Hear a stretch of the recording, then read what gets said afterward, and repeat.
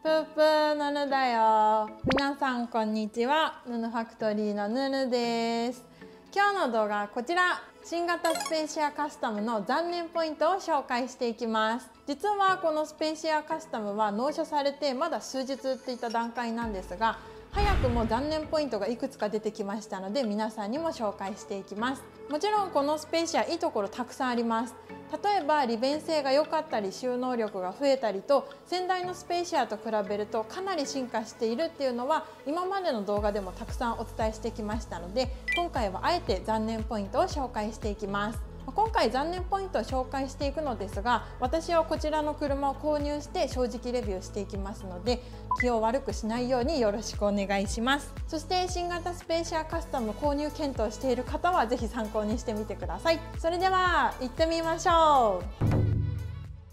それではまず最初の残念ポイントなんですがハンドアになりやすいというところですね。これは購入してすぐに気づきました。で私考えてみたら今まで普通車ばかりに乗っていて軽自動車っていうのはあまり乗っていなかったので軽自動車だからかなと思っていました。で実際に施工で鈴木車に触れる機会も多いんですがやっぱりハンドアになりやすいんですね。そして鈴木車のオーナーのお客様に聞いてみてもやっぱりハンドアになりやすいといったお声も聞いています。実際にやってみます。この辺から。もうこれでハンドアです。ちょっとずれてますよね。結構普通には閉めてるんですけど、まあ、クラウンとかレクサスとかだったら多分今の勢いで普通に閉まってます。これでもまだハンドア。まあ、クラウンとかレクサスと比べるのはちょっと違うかもしれないんですけど、まあ、他にもコペンとか N ボックスとか軽自動車と比べてみてもやっぱりスペーシアはハンドアになりやすいなと思いました。もしかしたらこれは鈴木車だけなのかもしれないんですが分かる方いらっしゃったらぜひコメント欄で教えてください。ちなみにヌヌさんは、はい、スペーシアギアも乗ってるじゃないですか。はいはいはい。スペーシアギアもハンドアになります、うんそうハンドアになりがち。もう本当に車が揺れるぐらいガンって閉めないと なかなか閉まってくれない。でこの辺はですね新型になって改良されてるかなってちょっと期待はしていたんですがやっぱり新型の方もですねハンドアになりやすいというところで残念ポイントにランクインしました。2つ目の残念ポイントはこちら。リアのウィンカーとバックライト。それとナンバー灯が豆球というところですね。ライバル社の新型 N ボックスと比べてみると N ボックスの方はリアの方まで全部フル LED でできてるんですがスペーシアの場合は一部豆球が使われています。で私最初はですねそんなに気にはしてなかったんですがやっぱり仕事柄こういったガレージに入れる機会が多くてそうなると結構豆球感というのが目立ってきちゃうんですよね。でそれと今回のリアのテールライトはクリアな感じになっているのでより豆球が分かっちゃうというのがちょっと残念でした。でちょっと実際につけてみますね。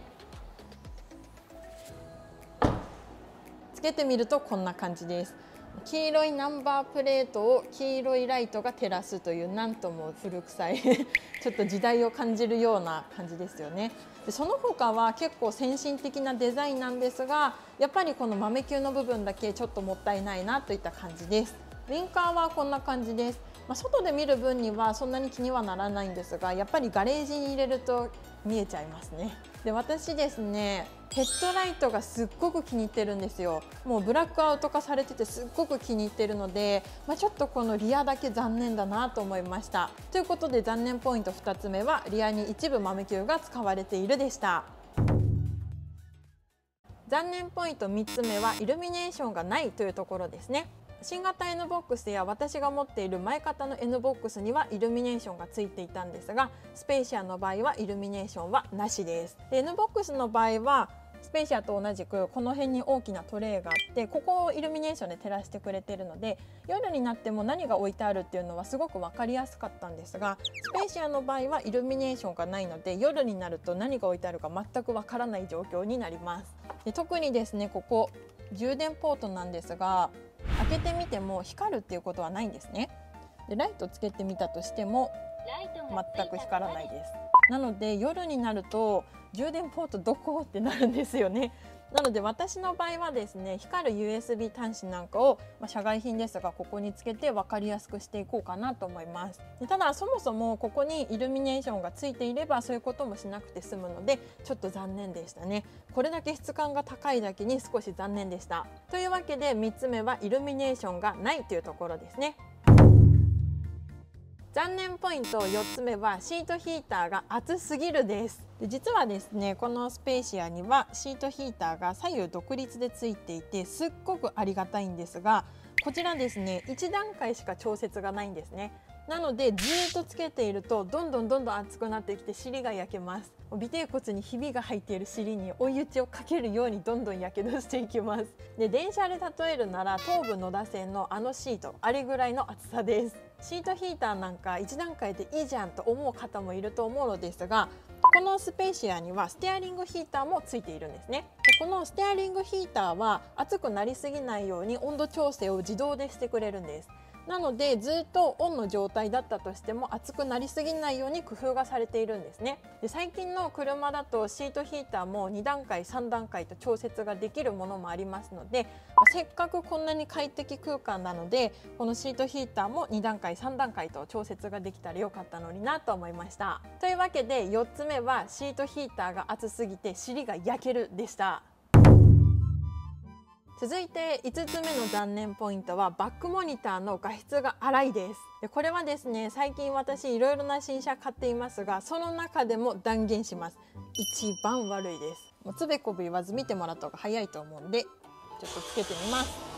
この時点でちょっとすごいですよね。なんかうちのガレージの汚いところをモザイクかけてくれてるような感じです。実際にバッグ入れてみると。こんな感じ。どう見ても2024年の画質ではないなんかアナログテレビみたいな感じですよね。でこれですね今はこのガレージの結構明るいところに入ってるので割とま鮮明というか色合いははっきりしてるんですけど夜とかになると結構ノイズが入るんですよね。画質が悪いにプラスしてノイズが入るのですっごく見づらいです。この車には全方位モニターがついていてその中でもバックモニターっていうのは一番よく使う機能だと思いますのでここのバックモニターの画質は良くしてくれたらありがたかったなと思います。というわけで5つ目はバックモニターの画質が荒いというところでした。続いて残念ポイント6つ目はシートがややペラペラっていうところですね。でこれは気にならない人は本当に気にならないと思いますし本当若干の残念ポイントなんですが一応ランクインしました。でこのスペーシアですねよく比較されるのが新型 N ボックスよく比較されると思います。で新型 N ボックスの場合はコーディネートスタイルというのを選ぶとプライムスムースのシートになるんですね。でそのシートがですね結構肉厚感があってふわふわで質感も高くてすごく良かったんですね。でそのシートを見ちゃってからこっちのスペーシアのシートを見ると、まあ、確かにペラペラだなと思いました。気にならない人本当に気にならないと思うのですが一応新型 N ボックスとよく比較されるっていうところもありますのでランクインしました。というわけで6つ目はシートがややペラペラというところでした。残念ポイント。7つ目は黒天井が選べないというところです。でこちらもですね新型 N ボックスと比較してしまって申し訳ないのですが N ボックスの場合は黒天井のラインナップもありました。ただスペーシアの場合は全車全グレードこのグレーの色になってしまいます。で私もですね前型の N ボックス乗っていてその N ボックスは黒天井なんですね。で黒天井って私個人的にはかなり高級感をぐっと上げてくれる天井だなと思っています。やっぱり軽には乗っているんですけど普通車と思わせてくれるくらい高級感がかなり上がるんですね。で特にですねこここのルームミラーなんですが作り自体は私が乗ってる前型の N ボックスとほとんど変わりはないんですがやっぱりこの色になってしまうと少しチープな感じに思えちゃいますよね。でこの辺すっごく豪華な作りで本当に軽とは思えないくらいかっこいいんですけどやっぱり上を見ちゃうとああ軽ってなっちゃいますよね。というわけで7つ目の残念ポイントは黒天井の設定がないというところでした。続いて8個目の残念ポイントはこれも細かくて申し訳ないんですがワンタッチウィンカーがないですそもそもワンタッチウィンカーって何という方のために説明するとまず普通にウィンカーを出す場合は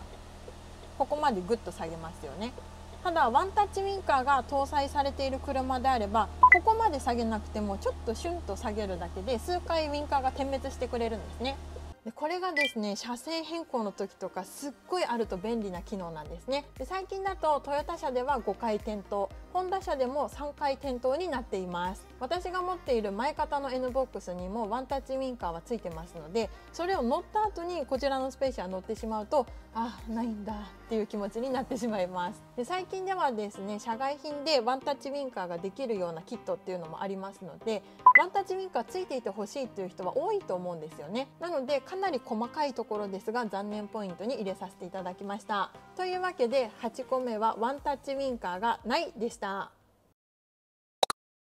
はいというわけで今回は私が新型スペーシアを購入してから思った残念ポイントを8個紹介していきました。8個もあったんかよと思う方も多いと思いますが最後の方に紹介したワンタッチウィンカーがないとかシートがペラペラな気がするとかそういったのは本当に重箱の隅をつつくじゃないですけどかなり細かいところだったかなと思います。で今回は8個残念ポイント紹介はしたのですがそれを上回るほどいいところがたくさんある車なので本当に買ってよかったなとは思っています。今回の残念ポイントがメーカーさんに届けばいいなと思っていますし今後新型スペーシアカスタムを購入検討している方の参考になればなとも思っています。ぜひぜひスペーシアカスタム好きだよっていう方は今後もヌヌファクトリー楽しみにしていてください。それでは今日はこの辺でヌヌでした。